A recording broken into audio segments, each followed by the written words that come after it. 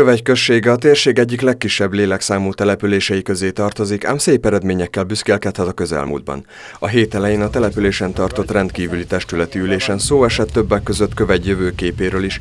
Galgockiné Krobák Mária polgármester elmondta, több pályázat is folyamatban van, amelyek segítségével számos területen korszerűsítések valósulhatnak meg. Az önkormányzat épületének és a könyvtárnak az energetikai beruházása, amelyik 38 milliós, a másik az orvosi rendelő mellé egy családsegítő és gyerekjóléti épület kerülne, meg az orvosi rendelőnek a felújítása. Ez egy 22 milliós topos pályázat. Hozzátette, emellett a települési járdáit és úttestjeit is szeretnék megújítani a közeljövőben.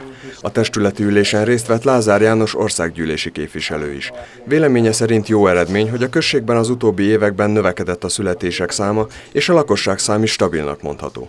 Mint mondta, a kezdeményezés miszerint a művelődési házat felszeretnék újítani támogatandó, ehhez körülbelül 60-70 millió forintra lenne szükség, és a létesítmény 150-160 ember tudna befogadni. Emellett a belterület területi bicikliút kialakítása is igen fontos.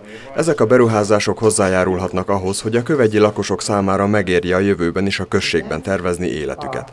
Lázár János hangsúlyozta, az itt élő ugyanakkor más településeken munkát vállalókat meg kell próbálni megtartani. Arra kell nagyon ügyelni szerintem egy ilyen kis településen, hogy akinek ingázni kell, az egy idő után ebbe belefárad. Én is így jártam Budapesten.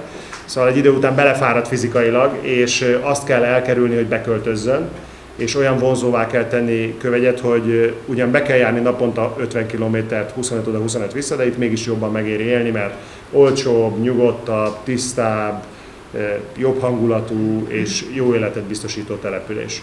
Erre kell szerintem törekedni, hogy a település megmaradjon, vagy a település fent tudjon maradni, ez egy nagyon fontos lehetőség és egy nagyon fontos dolog. Szerintem az önkormányzat azzal tudja leginkább itt tartani az embereket, hogyha azt érzik az emberek, hogy rájuk szükség van, a falu számít rájuk, és idézőjelbetéven mindenkinek fogja a kezét a falu, és mindenkinek megpróbál segíteni. Szerintem az egy jó üzenet egy olyan családnak, aki most itt gyereket vállalt, és mondjuk családalapításba fogott vagy családalapításba kezdett. Ezért tesz is az önkormányzat a közelmúltban két felújított lakást fiatal családok rendelkezésére bocsátott.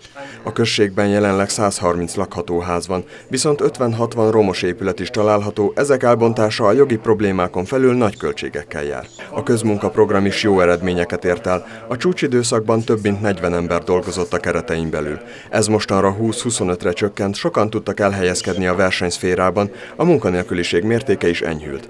Kövegy igen jó adottságokkal rendelkezik, Csanádpalota és Makó közelsége pozitív hatással van a község életére, többen ezekre a településekre járnak iskolába vagy dolgozni. Az itt működő kamerarendszernek köszönhetően Kövegy biztonságos, csöndes és családias hangulatával vonzó lehet bárki számára.